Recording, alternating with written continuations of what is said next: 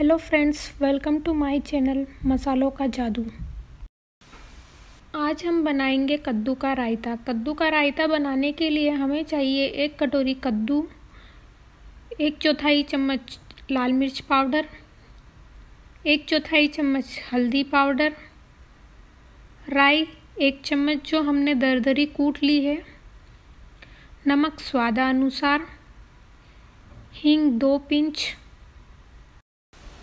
और दही, जो मैंने आधी कटोरी से थोड़ा सा ज़्यादा लिया है और इसे मैंने फेंट लिया है।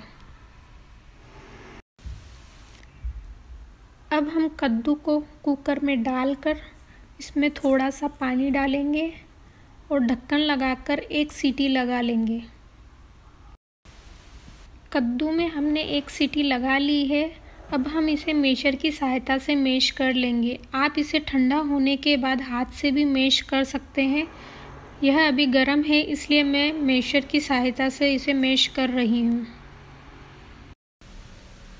सबसे पहले हम एक कढ़ाई में एक छोटी चम्मच इतना तेल गरम करेंगे। जब तेल गरम हो जाएगा, तब हम इसमें आधी चम्मच कूटी हुई राई डाल देंगे।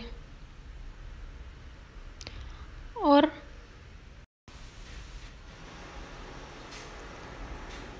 इसके बाद हम इसमें हींग हल्दी पाउडर, लाल मिर्च पाउडर और नमक डाल देंगे।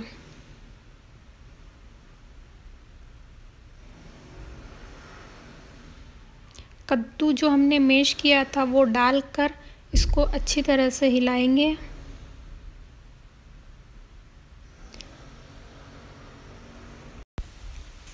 अब हम गैस की फ्लेम को लो कर देंगे और दही डालकर इसे लगातार हिलाते रहेंगे।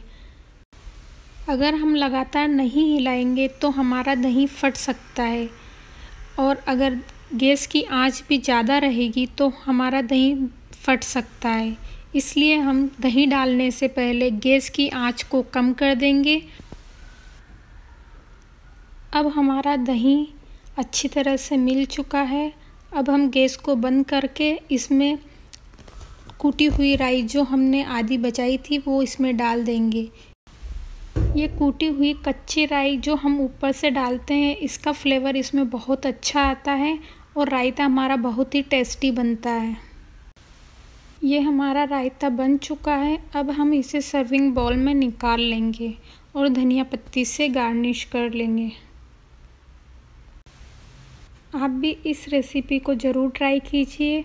अगर आपको यह रेसिपी पसंद आई है तो मेरे वीडियो को लाइक कीजिए और मेरे चैनल को सब्सक्राइब कीजिए।